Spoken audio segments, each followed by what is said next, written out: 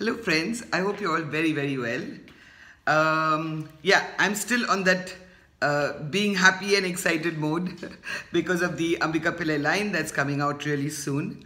I did introduce you to the, the four uh, face cleansers, and uh, today I'm introducing you to two creams. You know, I've been talking for years now about the hyaluronic acid uh, serum, which just is is called Fountain of Youth, yeah, because it's just so amazing for the skin. It keeps your skin youthful and amazing.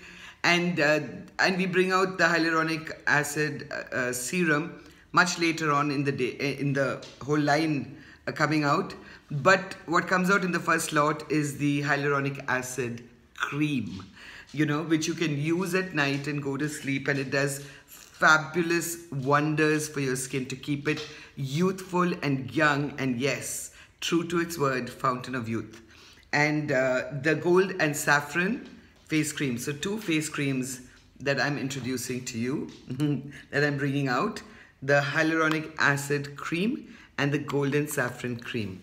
So these two come in little, um, you know, little tubs and very little is used. You don't go like fully. Of course, there are people who like smother it on and leave it on. It's totally up to you. You've got very dry skin be my guest. This is going to really sort you out.